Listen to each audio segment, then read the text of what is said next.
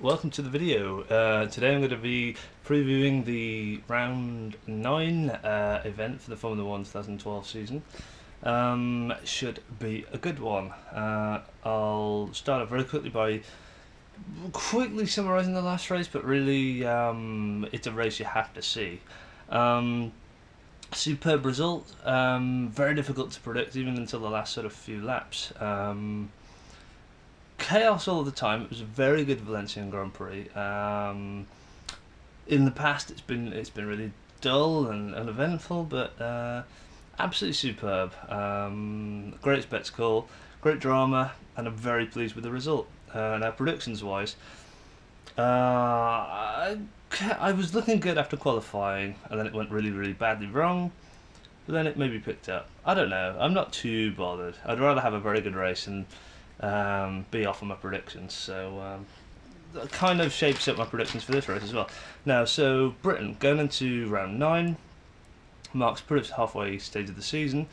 Um, news going in. Um, well, um, McLaren looking to improve on their pit stops. I think they have a new kind of jack. Um, possibly. I think they had a new jack last race as well, but maybe uh, this is an even more updated and improved, hypothetically, version of uh, the jack system for the pit stops. Um, and they've been struggling at pit stops to such an extent they've, they've made a lot of mistakes, um, a lot of pressure on them now, etc. So what they've done is they've been practicing a lot. Uh, apparently they've done up to 800 practice pit stops uh, over the last few days or something. So I guess that should bode well, and I'm, I'm sure they've done well in practice as well. I don't know. I put it mostly down to psychological pressure. They just need to be a bit more relaxed. It sounds strange, but a bit more relaxed about it, and I think they'd actually do a much better job. Um, also, um, yeah, the weather going into the Grand Prix, which is going to shape my predictions big time. Uh, the weather going into the British Grand Prix. Uh, June in Britain uh, was apparently very appalling. Um, one of the sort of record months for the least amount of sunshine in the month. So, yeah, the forecasts are also such um, that it's almost certainty of rain on Friday. Uh, qualifying should be a bit drier and there's less chance of rain, but on Sunday for the race, there's apparently a 70% chance of rain. So, um, looking good for an exciting Grand Prix. Uh, I feel a bit sorry for those that have, have gone to the, or at least can go. Um, in the sense that they might get very, very wet over the, over the next few days. However, I'm sure that'll make for an all the more uh, superb Grand Prix. So uh, they win overall. Um, so my predictions then, pretty quick fire, going with form. So Vettel for a sweep. Uh, he's going to get pole position. That'll be number 34 or something crazy. Um, he'll be angry, of course, and want to really put out of his mind the retirement of the last Grand Prix. I think he'll be pretty fired up, and he's historically very good around uh, Britain, so um, Silverstone seems to suit him and the Red Bull pretty well.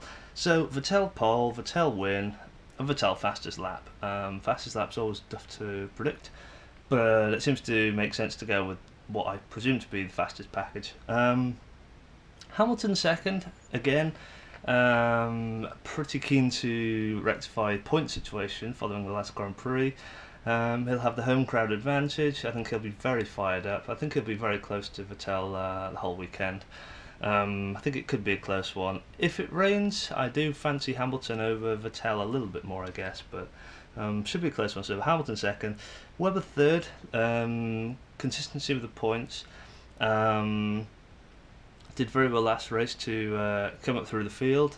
Um, odd circumstances, but still very well driven. He's on sort of a good bit of momentum. So Webber for third, and Red Bull seems strong.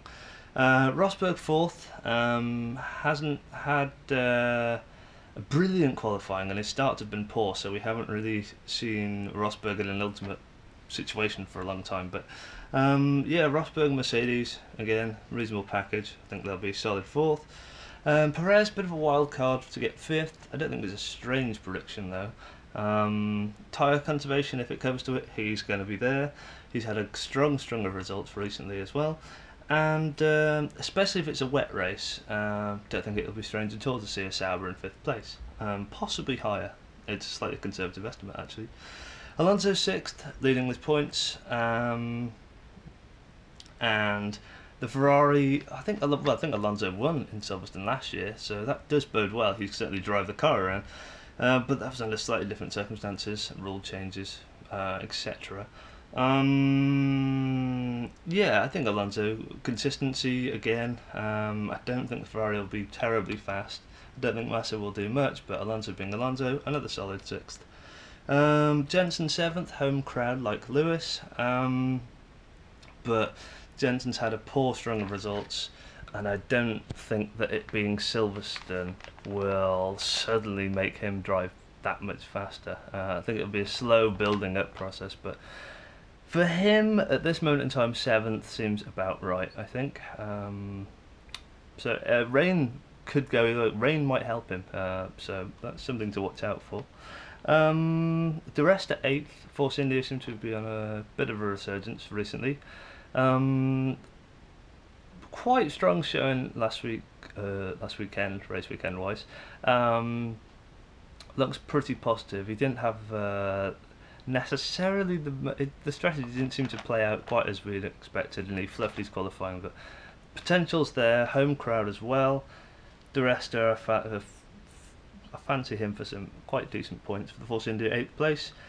Uh, rounding out the top 10, it's difficult because um, really you've got so many drivers that could get into the top 10. Um, so it's, it's a, a, bit of a guess, to be honest. But Maldonado, he can drive that Williams fairly quickly. They're, they're looking quite good.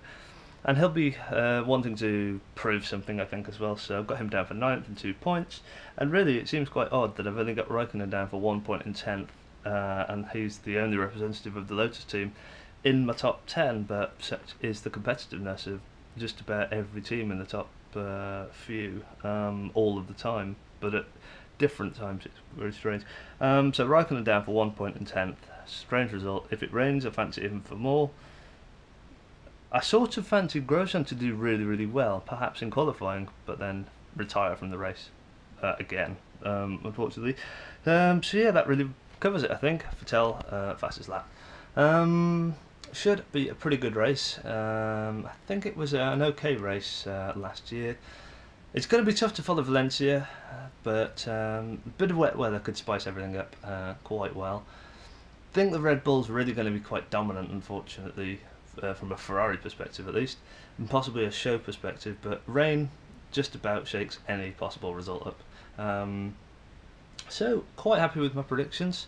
Um, qualifying's been really good this year, so um, it should be uh, should be pretty good, even if Vettel does start on pole. Um, and it's shaping up pretty well. Um, Alonso's driving superbly, as are a lot of the drivers actually. But um, yeah, it's looking very good. I'm looking forward to the race. Um, hopefully, we will see um, as well a full turnout. I think so as well. The new um, development areas and the the wing grandstand, Oh, I can't quite remember the name, but it's all very impressive. Uh, and recently, the turnout figures have uh, improved substantially. I think. Um, the weather being as bad as it looks, I don't think it'll do too much to to deter turnout. Besides, most people buy Formula One tickets way in advance anyway, so it's looking pretty good. Um, and uh, I do kind of fancy a, a Red Bull bit of domination, but I suppose it had to come sometime. Um, and regardless, should be a good race. So uh, those are my predictions. We'll see how they pan out. Join me next time for round 10. I forget where it is, but I'm sure it'll be coming up soon now that we're in the full European uh, stage of the season. So join me then. Uh, thanks for watching.